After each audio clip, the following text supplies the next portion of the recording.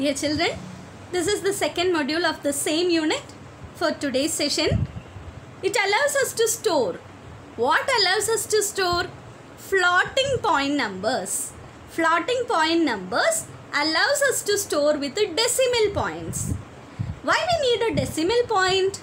Normally, every programming and every scientific calculation needs accuracy, isn't it? So, for more accuracy, we need more decimal points. So, my dear children, here I had given one example 2.14. The decimal point indicates that it is not an integer but a float value. If you are giving any number with a dot, then the interpreter take it as a floating point value. 100 is an integer but 100.0 or 100.5 is a float value. In the previous chapter we had already discussed float values can be of two type. What are they? Yes, it is fractional form and in exponent form. What do you mean by fractional form?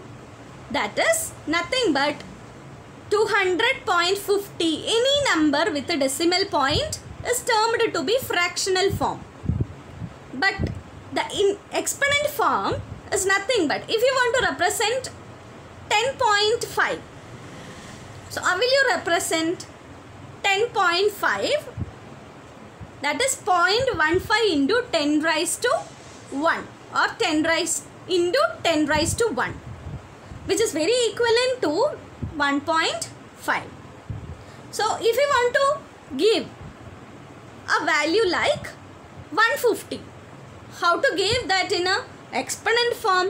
1.5 e02 here e represents what?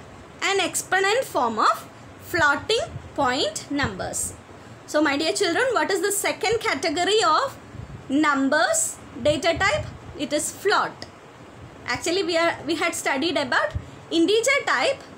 Here we are going to here we are discussed about floating point numbers. Once again i am reminding floating point numbers can be either in positive or in negative. Look at the next one. What will be the value of y? 12.786454 e04 that means what? Here we are trying to print e value that is exponent form value. We will get 1,27,865.4 like that only we are getting the value.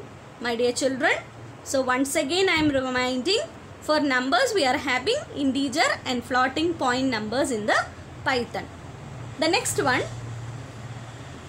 floating point numbers are mainly used for storing values like distance area temperature etc sometimes we need to give the amount of money in the floating point values.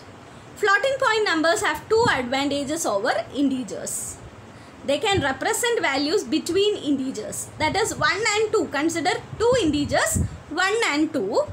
How to represent in intermediate value between 1 and 2? We have to use fractional number like 1.3, 1.5, 1.7 etc.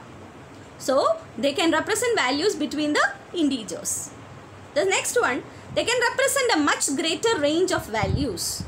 My dear children, if we want to give a range between 1 and 3, if we are taking the integer part, what will be the values in that particular range? 1, 2 and 3.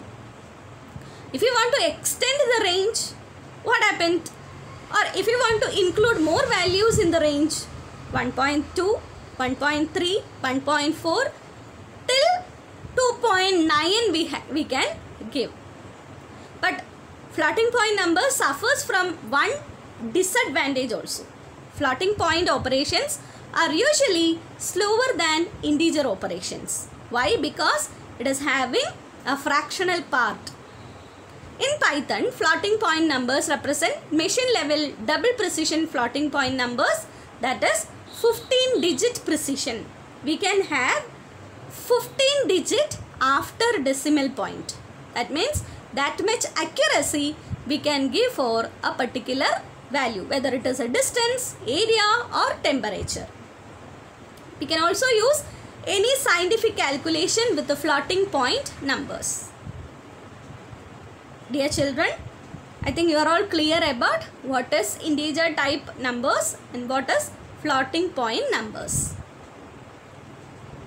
The next one is complex numbers. That also we had studied earlier but in the literal form.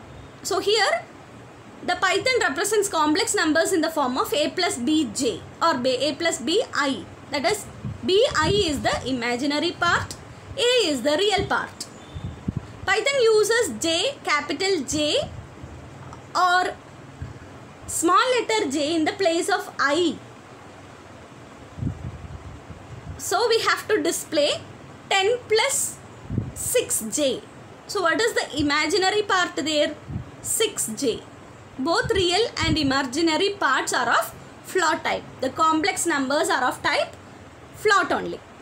I think you are all clear about complex numbers. In the upcoming module, we will discuss more about data types. Thank you.